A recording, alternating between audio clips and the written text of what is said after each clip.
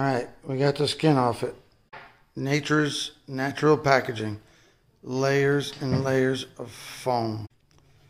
This is a good dietary supplement because by the time you get done opening it up, you burn more calories than what you actually ingest.